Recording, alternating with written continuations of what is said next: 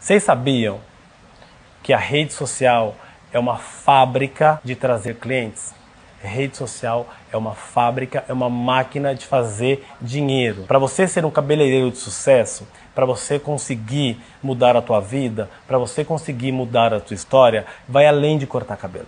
Você precisa de algumas coisas. Por exemplo, assim, olha, eu vejo que às vezes as pessoas fazem um cabelo maravilhoso, um loiro maravilhoso, ou um corte maravilhoso, aí essa pessoa vai lá, faz um babyliss lindo e posta no feed. Aí coloca lá, hashtag gratidão.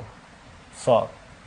Gente, a pessoa que quer cortar um cabelo, ela não vai procurar pela tag gratidão. Se a pessoa quiser cortar um cabelo, se for um Chanel, ela vai procurar corte Chanel, Chanel moderno, é, Chanel é, repicado, franja, franja bardot, loiro, loiro saudável, mechas.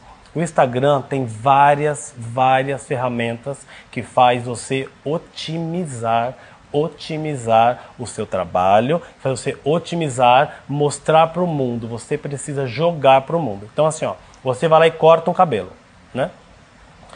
Qual que é o pacotinho? Cortei um cabelo, fiz uma boa foto, fiz um bom vídeo, divulguei de maneira estratégica tem uma estratégia para divulgar isso. Esse conjunto de coisinhas é que vai fazer você um cabeleireiro de sucesso.